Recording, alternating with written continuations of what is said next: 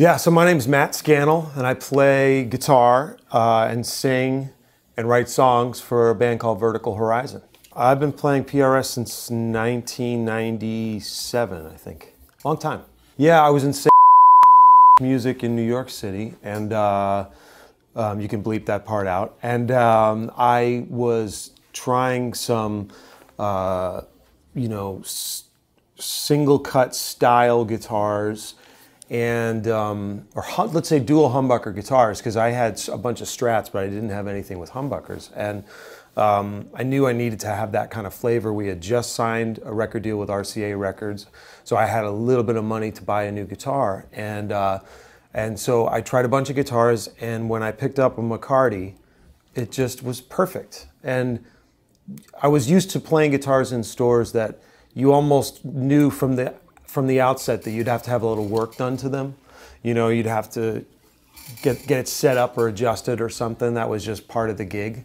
Uh, but this guitar felt perfect, um, and I was really impressed. You know, and so um, since then I've I've uh, had my fair share of these beautiful instruments. There is one uh, PRS that I'm, I'm ecstatic about and privileged to have. Uh, it's a new guitar that they built for me over the past six months or so. It's a black single cut, um, built specifically to my uh, you know specifications, and uh, it has the the low turn humbuckers on it. It's got the piezo bridge on it. Um, it's a bit interesting because I wanted to keep the four knob architecture. I wanted to have, I've found over time that having the volume, a volume control for both of the pickups is something that I really like a lot. You know, I would see Snowy White play with David Gilmour, uh, with uh, Roger Waters, and uh, you know, he'd be spending the whole night in between, in the in-between position and then adjusting the volume knobs to suit. Uh, and of course, I heard David Grissom talking about, um, you know, watching the, the Led Zeppelin DVD and noticing that, you know, Jimmy Page spent most of the night in the middle.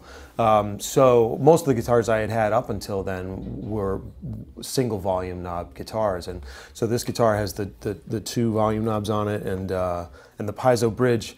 Man, I mean, if you haven't tried the piezo bridge that PRS puts in these guitars, it's you have to. It's mind-blowingly cool. And and for us in my band, we have two guitar players and we both use that piezo system. So effectively it sounds like there are four guitar players on stage and we use them both at the same time. That's the other thing.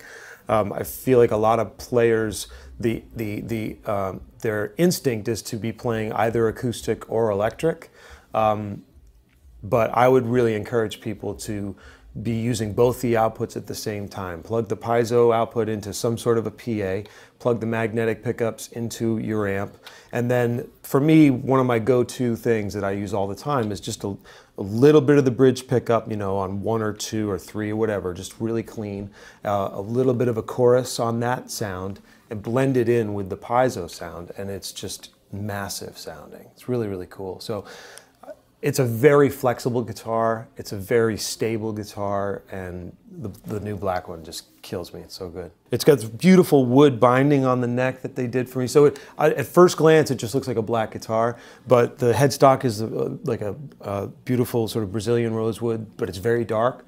And then the back is natural, like sort of like this, natural uh, uh, mahogany back and sides you know so it, it at first glance it's very simple but then you notice there are all these little nuances. It's, it's killer. I love it. As much as possible, lately I've been playing one guitar. I've gone through periods where I, I've you know switched for every song, and that's fine. But I've enjoyed, I think, um, getting really comfortable with one instrument and then just sort of spending the night with it.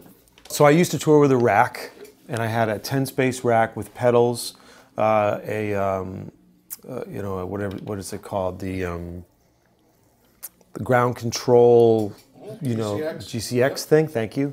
And uh, that was activated by a Rocktron all access pedal on the front.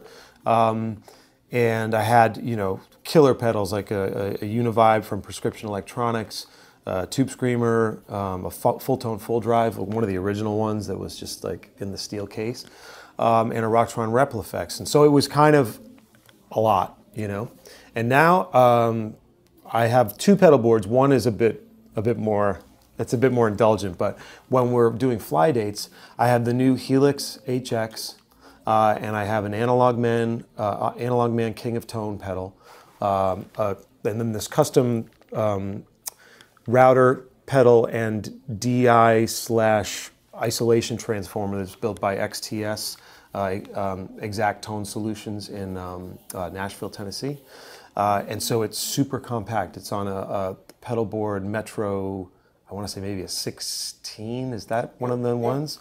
So it's really small and it fits in the bottom of my rolling duffel bag. Uh, because, of course, flying, we want to try to save money as much as possible. I mean, it's a real consideration. Carrying around a big, huge pedal board is expensive. You know, you're paying for it every single time you fly. So this thing is really compact. I have the, the, the amazing thing about that Helix HX is I, I have the analog man, the King of Tone, in uh, one of the loops.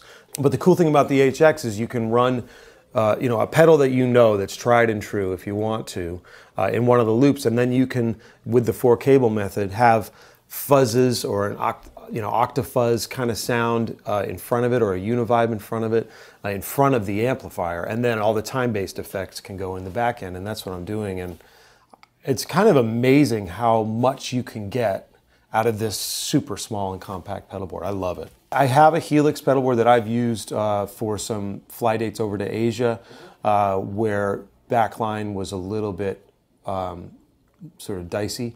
And so, uh, and I don't, I don't, um, I love the Helix. I think that once, for me, the, the, game changer was once I loaded some impulse responses into it, um, then I felt like it really came to life. It's an incredible thing, and as they continue to improve that thing, uh, it really it could uh, it could replace a lot of amps. I, you know, my favorite amp of all time is a '68 small box Plexi that I bought a long, long time ago. So I am really, on some levels, a purist. Um, so if they, you know, when the fact that I can even use this stuff at all is testament to how great it is. Um, but I'm not quite there yet. I, I, still do love the interaction and I do love the nuances and the chaos of tubes. I still backline a Marshall DSL 50. It's just everywhere and it's easy. Um, ironically enough, I don't tend to record with one very much, uh, but it's, uh, it's, it's something that I know and that we can find easily.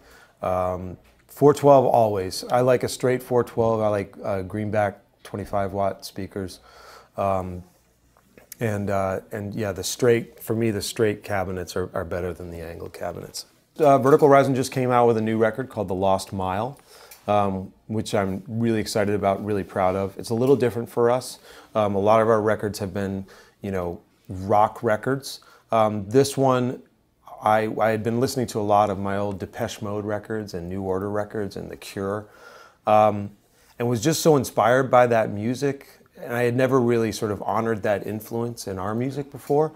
And so I sort of dove deep and I, I kind of made a, a, record that is in the vein of those bands. And there are a lot of guitar moments on it, but I wouldn't say that it's as guitar centric as some of the other records we've made. Um, and it's just, you know what, to be honest with you, and we started doing this a long time ago, and to still feel inspired and feel like there are songs in me and there are, there's music that we want to make, uh, I think you have to honor that. And, and you, so you need to follow it wherever it takes you, you know what I mean? The next record could be a, a big guitar rock record as well.